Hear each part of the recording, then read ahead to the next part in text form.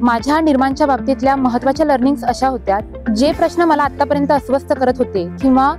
जे सामाजिक विषय होते की ज्यांबद्दल मी विचार करत होते की ज्या प्रश्नांवर मला काम करायचं होतं तर त्या बाबतीत आत्तापर्यंत मी फक्त माझ्या आजूबाजूच्या लोकांना आणि त्यासोबत शासन आणि इतर जे काही प्रायव्हेट सेक्टर्स आहेत त्यांना मी दोष देत होते की त्यांच्याकडनं काही होत नाहीये त्यांना कुठलंच काम जमत नाहीये आणि मी फक्त विचारच करत होते फक्त मी अनस्टेबल होत होते अस्वस्थ होत होते. कृती मी काहीच कर- करत नव्हते.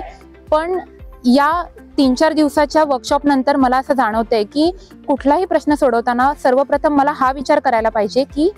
मी माझ्या पातळीवर मी कुठलं ऍक्शन घेते तर ते जास्त महत्वाचं आहे. दुसरं असं की कुठलंही स्टेटमेंट ज्यावेळी मी करते किंवा कुठलंही मी जेव्हा माझं मत मांडते तर त्यावेळी ते वरवरचं किंवा उथळ असता कामा नये तर ते अभ्यासपूर्ण असायला पाहिजे. त्यासाठी मी रिडिंग केली पाहिजे किंवा एका सायंटिफिक मेथडने मी कुठलाही विषय समजून घेण्यासाठी फॅक्ट्स अँड फिगर पाहिले पाहिजे. रिपोर्टचा अभ्यास केला पाहिजे त्याचा अनालिसिस त्याचा सर्वे त्याचं कन्क्ल्युजन तर अशा सायंटिफिक मेथडने जर मी तो विषय समजून घेण्याचा प्रयत्न केला तर माझ्यामध्ये एक थॉट ऑफ क्लिअरिटी असेल. तिसरा मुद्दा असा की आतापर्यंत मी जे शिक्षण घेतलं त्याच्यामध्ये कुठेच मी क्वेश्चनिंग केलं नाही. तर इथून पुढे मी आता असं ठरवलंय की माझ्या आयुष्याच्या प्रत्येक क्षणाला ज्यावेळी मी कुठलाही डिसिजन घेते किंवा कुठलीही चॉईस करते तर त्यामध्ये मी स्वतःला प्रश्न विचारेन किंवा जे काही वाचते पाहते ऐकते तर त्यावेळी पण मी प्रत्येक वेळी स्वतःला प्रश्न विचारेन की मी हे का करतेय कुणासाठी करतेय कशासाठी करतेय त्यामागचं कारण काय आहे? आणि ऍक्शनच्या बाबतीत मला असं म्हणायचंय की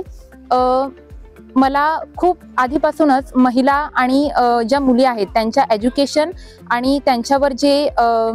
सेक्शुअल हरॅसमेंट किंवा त्यांच्यावर जे लैंगिक अत्याचार होतात तर त्यावर मला काम करायची इच्छा आहे. तर मी आता जाताना असं ठरवलं आहे शोधग्रामच्या कॅम्पसमधून की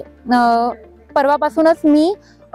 सगळे जे काही आपल्या महाराष्ट्रामध्ये महिलांसंबंधी काम करणारे जेवढे पण सामाजिक संस्था आहेत जेवढे पण एन जी ओज आहेत तर मी त्यांना वैयक्तिक भेटी देईन त्यांचं काम समजून घेण्याचा प्रयत्न करेल आणि त्यानंतर मग मी त्यांच्यासोबत जोडली जाऊन पुढे काम करेन.